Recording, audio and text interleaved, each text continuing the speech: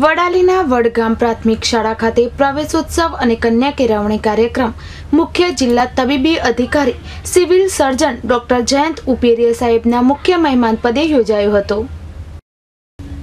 Kiranbhai C RC Pudeda, પુષ્કરભાઈ પરમાર તથા શાળાના આચાર્ય વિષ્ણુભાઈ વણકર નિર્મલાબેન સોલંકી સહિત ગામના તલાટીબેન તથા ગામના સરપંચ તથા પાટીદાર યુથ ફાઉન્ડેશનના આગેવાન વડાલી પાસ કન્વીનર રમેશભાઈ પટેલ સહિત ગામ લોકો હાજર રહ્યા હતા. મહેમાનો દ્વારા દીપ પ્રાગટ્ય કરી કાર્યક્રમની શરૂઆત કરી નવા પ્રવેશ લેનાર બાળકોને કુમકુમના તિલક કરી બેગ, ચોકલેટ ડૉક્ટર ઉપેરિયાના વરદ હસ્તે આપવામાં આવ્યા હતા. પ્રાસંગિક ઉદ્બોધનમાં ડૉક્ટર ઉપેરિયાએ શિક્ષણકાળના પોતાના જીવનના પ્રસંગો તાજા કર્યા હતા. ત્યારબાદ શાળાના મેદાનમાં વૃક્ષારોપણ કર્યું હતું.